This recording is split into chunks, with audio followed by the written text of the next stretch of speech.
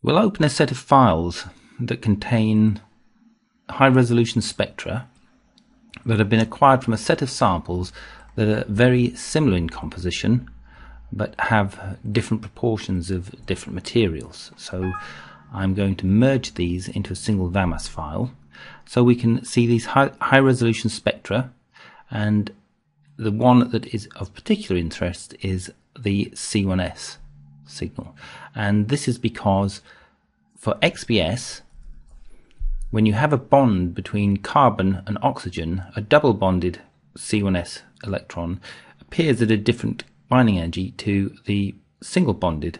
And this actually is in contrast to what happens when you have sodium ions. So if we go back to our data set, you can see here we've got the oxygen bonds and probably more than just oxygen bonds that are causing shifts in these peaks here of over several EV for the carbon 1s. Whereas if we look at the sodium, in fact, let's normalize it so you can see clearly that there's hardly any movement at all within the sodium. And what movement you see here may well simply be difference in the in the charge potential of the surface when these different samples were measured. So carbon 1s contains chemical state information. There are other reasons why it's very nice to have such a peak as this carbon 1s that at a, all the information is being acquired at the same kinetic energy. So transmission, you've also got the same relative sensitivity factors. Very little differences will occur between photoemission from different bond states of carbon 1s.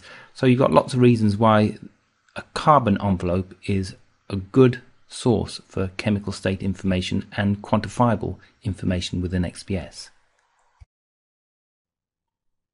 The next question is how to extract this chemical state information. And the traditional way of doing this would be to create a peak model. And this would involve choosing a spectrum, placing a background on the spectrum, then adding a set of peaks and these peaks, each one represents a different chemical state within the carbon 1s, and this is the amount of these different chemical states will also be represented by the peak area. So we keep on adding these peaks, and when we think we've got enough peaks and we can justify the binding energies of these peaks and the full width half maxima, we say fit, and we end up with a peak model from which we ought to be able to say that we've got something that might be a CC type peak and maybe a CO peak here and we will try to make some sort of interpretation of the data for these samples based on these shifted C1s peaks. Now if you look however at the range of possible shapes within these data and you appreciate that all of these samples ought to have a similar composition or but in different proportions, then a simple model created like this is really quite difficult to justify. However, what we're about to do is show a means of trying to extract more detailed information from a set of spectra such as these by looking at different spectra that are calculated from these carbon 1s spectra so they give a different perspective and while this may sound odd, that you might think that a spectrum from a sample is always a spectrum from a sample and it will be the same, that's not true in XPS. Had you tilted the sample, then the amount of contamination on the surface, or if there's any in-depth distribution of these materials, then you would find there'd be a change in the the shape of the spectra and the proportions of these different carbon 1s peaks. So what we're doing is mathematically trying to get an alternative perspective of the sample. That's one way of interpreting what's about to happen.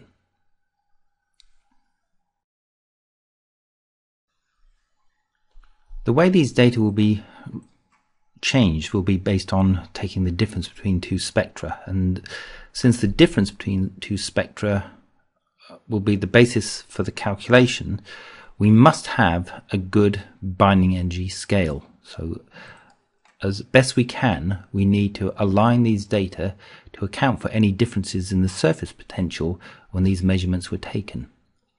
And what we'll do is we'll make an assumption here, and the assumption is that the sodium ions will all generate peaks at the same binding energy. Now this is an assumption, but nevertheless it's the one we're going to work with. So we'll perform a calibration in terms of energy and this will be performed using a region and the region will be defined and upon, over this region the maximum intensity will be calculated and it'll be used to align these sodium peaks. So first of all I've defined a background and I've used the background minimum. And the reason I've used minimum is because uh, these data were acquired and the lower binding energy side of this peak has been cut off. And as a result it's difficult to actually identify how to calculate a background for this peak even if it's just a simple linear background. So what I'm going to use is just a, a, a minimum that's based on the left hand side so this this is the side that's going to determine this background. Very simple background. I, I, don't want to introduce any artifacts that will alter the shape of this and the position of the peak maximum. And then I need to propagate this region to these selected sodium 1s peaks. Having done so, I'm going to use the spectrum processing dialog window and go to the calibration property page and having selected one of these regions I'm going to bring in the position as calculated here from the region just so that I can reference all of these measurements to a specific value. Now as it happens you can see that this is a very precise, it's 0.8000 so this isn't going to be too meaningful and that's because we've got a certain step size that has been used to get these peaks and it is having an influence on the peak position. So what I'm going to do is I'm going to tick this box here that says calculate maximum. And what that does is it puts a polynomial through the top of the peak and calculates the maximum of that polynomial as an estimate for the peak position. So now you can see when I select I get more precision whether it's correct is another matter, but it's it means that it's not dictated to the peak position by the increments that we use to measure these spectra, and it is a an approximation, a better approximation than if we just gone with the raw data peak bins. We'll also adjust the region and components, and what I'm going to do is I've got sodium selected and I'm going to use this applied by row first region. Now first region refers to the region that's in column A. So this is the one that's going to be calculated. There's just one region here, so it's unique. If there were more regions, it would always be the one in the first column, in column A, that would be used in this calculation. And what it's going to do is use the region to calculate the peak position. I've specified a true value and this will be applied to the set that are selected. And for each sodium 1s spectrum it'll calculate a position calculate an offset and apply that offset to each and every VAMAS block in the same row as the sodium 1s spectrum. And it'll do it for all four rows. So when I press this button here these peaks should then all align and not only do these peaks all align, in theory, if I now step to the sodium 2p, you can see that the sodium 2p, given that there's a, an oxygen 2s up here that's interfering with the, the sodium 2p, therefore you might find some shifts going on here due to the oxygen. They, they look reasonably well aligned, the sodium 2p and sodium 2s, that looks very well aligned. Ignore the lithium 1s, that was the transition that was assigned to these data based on the acquisition. But it turns out that there's no lithium, and what, what has happened is that the uh, sodium 2s has been acquired, which is quite useful for this exercise because we can now see that the 2s and also the 1s, and the opposite ends of the energy range, uh, have aligned quite nicely. So you might expect by interpolation and implication that the carbon has also been aligned quite well. Having calibrated these data so that the sodium 1s are all aligned, this means that we can now take a copy of these data to a new file so that we can preserve this calibration and allow us to work on these data using this temporary copy so that we can avoid undoing a calibration should we need to undo any kind of processing that we subsequently perform on these data. So this is just a bit of bookkeeping. I'm organizing it so that I take a pair of these carbon spectra and these have been shifted the intensity normalization on so there's the sodium 1s that's shifted so they align.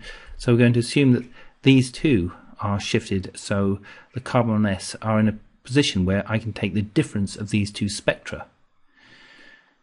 And I could do it as an as a pair to see what comes up, but in order to do it systematically, what I'm going to do is use an option on the calculator and it's different spectra. So it'll take what's in the active tile so there are two of them. And when I take the different spectra, what happens is this is 100% of one, that's in zero. And in 100, that's 100% of the other. And if I go down here and I select, say, 50%, that's exactly what it says. That's as if I just subtracted one from the other. Now, if I go up from here, I end up viewing a range of possible spectral forms. And let's take this one.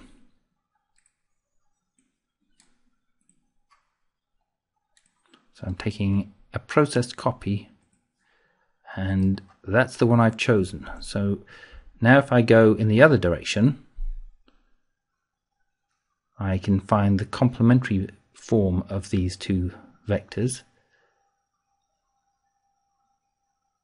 And these take on a slightly different shape. So here we go. Let's say there, that'll do. And I'll save that one.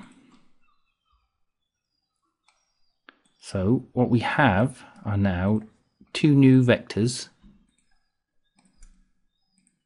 and these have been calculated from these original ones that are in 0 and 100. So if I use these two vectors as basis functions in a least squares calculation where I target the original data and I press the generate spectra to create that least squares solution, I end up with a pair of spectral forms. Let's turn off normalization. So you can now see that there's at least one spectrum in here, but actually if I offset them, you can see there are in fact two. The first one is the raw data, the second one is the least squares solution, and they are almost exactly the same.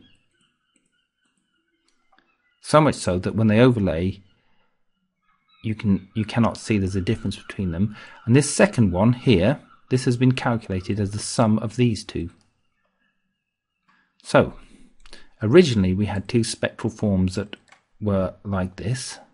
And now we have an alternative perspective where we've got two spectral forms that look like this. And in terms of peak fitting, the idea is that you can now start evaluating whether there are patterns of peaks that make physical sense that could be applied to fitting your original data.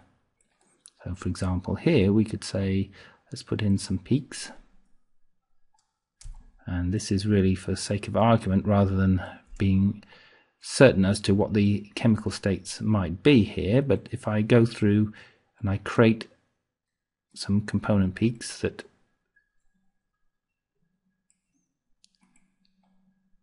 I can fit to the data, that this might be a set of peaks that are physically significant and do contribute to that shape that we see here and it would be very difficult to come up with such a pattern of peaks based on the original spectrum itself.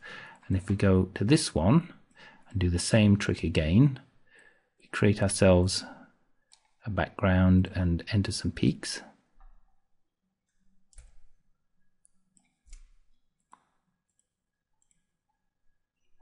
Once again we'll say fit Again, we find a new pattern of peaks that may indicate that we've got some kind of structure that would suggest carbon bonded to oxygen, some CC type component here. And again, such a structure, if I overlay these, well, it's more obvious in this case, but it's not as obvious that you'd have to have this component in order to complete the peak fit. So if I take these two and I select the two original spectra again and then well before I do that let me just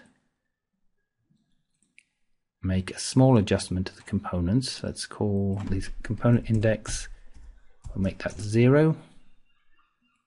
And this one we'll make this one one So if I now overlay these, so these are going to be the target, or rather the basis vectors for uh, least squares, and I select these two that are the original spectra that we just copied through previously, and then I'll do a least squares again.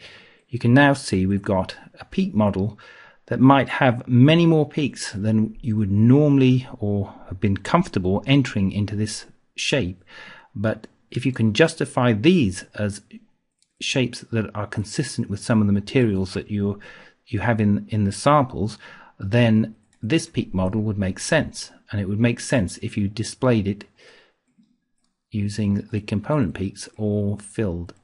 So that represents a possible combination of materials that have contributed to forming this particular sample and similarly there's an that combination again would be really difficult to to work out based on the data itself. But nevertheless because it, it's been broken down in terms of these components you have a an idea that this might be a possible solution. So it gives you a, a tool for working through data and combining data in order to try and work out what might genuinely be within a peak model.